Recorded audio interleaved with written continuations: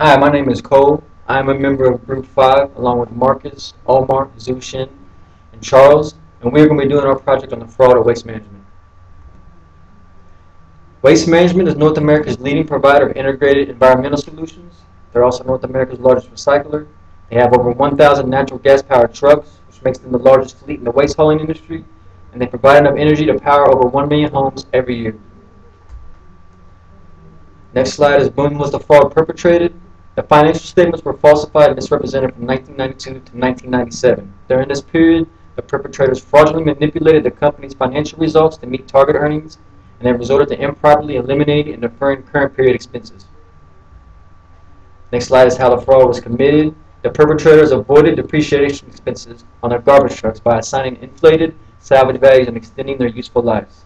They assigned arbitrary values to assets that previously had no salvage value they failed to report expenses for decreases in the value of their landfills. and They also refused to record expenses to write off the cost of unsuccessful development projects. How the fraud was continued, committed continued. They established and inflated environmental reserves related to acquisitions so that the excess revenues could be used to avoid recording unrelated operating expenses. They improperly capitalized expenses, and they also established insufficient reserves to pay for income taxes and expenses. Now I'm going to move on to Marcus, who's going to talk to you about how the fraud was discovered. Thanks, Cole. Uh, my name is Marcus, and I'm going to talk about how the fraud was discovered. The perpetrator's scheme unraveled in July 1997 when the new CEO ordered a review of the company's accounting practices. The review led to the restatement of the financial statements for 1992 through July 1997 after filling the restated financial statements in February 1998, the company acknowledged it had misstated earnings by 1.7 billion. Auditors' involvement. Waste Management was aided in their fraud by their longtime auditors. Arthur Andersen received a premium on the fees for performing special work.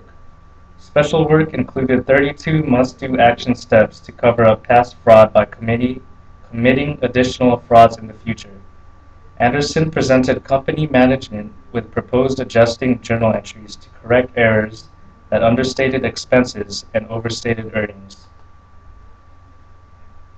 There were six people involved in the waste management fraud. They were Dean L. Buntrock, founder and CEO, Philip B. Rooney, President and Chief Operating Officer, James E. Koenig, Executive VP and CFO, Thomas C. Hau, Controller and CAO, Herbert Getz, Senior VP Secretary, Bruce D. Tobecksen, VP of Finance. Roles of the perpetrators. Buntrock, the founder and CEO, was the ben primary beneficiary of the fraud. He received more than 16.9 million. He received that money mostly from performing performance-based bonuses, retirement benefits, selling corporate stock, and charitable giving. He fostered a culture of fraudulent accounting within waste management. Another perpetrator was uh, Rooney, president and COO. He received 9.2 million from performance-based bonuses and selling company stock.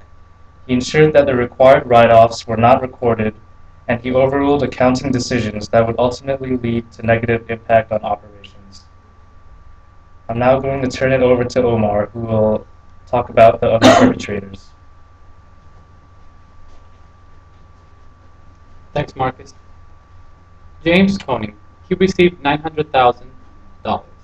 He was primarily responsible for executing the scheme, ordered the destruction of damaging evidence, withheld evidence from outside auditors.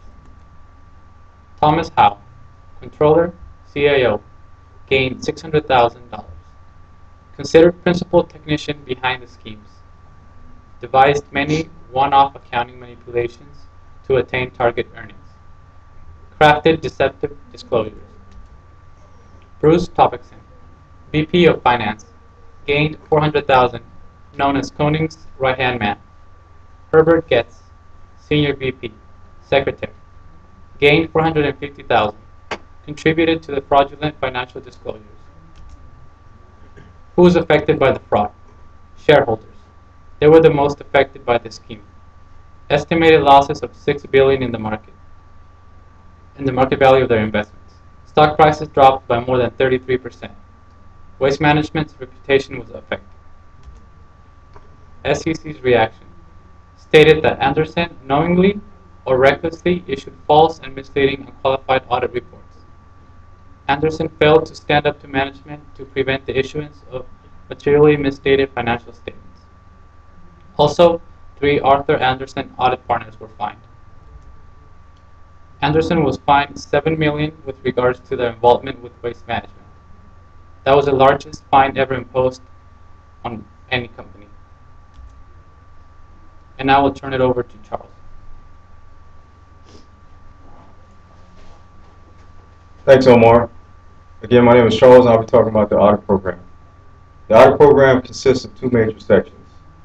First section deals with internal controls, which is the systems portion section. Second section deals with uh, financial statement account balances, which is substantive procedures portion. What is the systems portion planned around? The systems portion is planned around the major transaction cycles, which are the revenue cycle, the acquisition cycle, the conversion cycle, the payroll cycle, the investing cycle, and the finance cycle. Audit procedures include obtaining an understanding for the controls of each cycle, preparing a flow chart for each cycle, testing significant controls, and assessing control risk for the financial statement assertions. Tests of controls provide two types of evidence. Evidence effectiveness of internal controls and substantive evidence of recorded information. After evaluation of the evidence, auditors will now make modifications in the substantive procedures portion, in which Zushan will now discuss. Thank you, Charles. I'm Chen. I'll be going over the audit procedures of substantive, substantive procedures to detect fraud.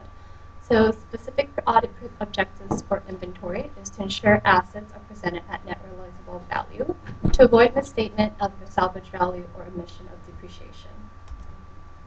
Must analyze the accounting principles applied or generally accepted principles, test the accuracy of the client's application, and the method of valuation on assets. Vouch the acquisition cost of assets to pay checks and documentary evidence.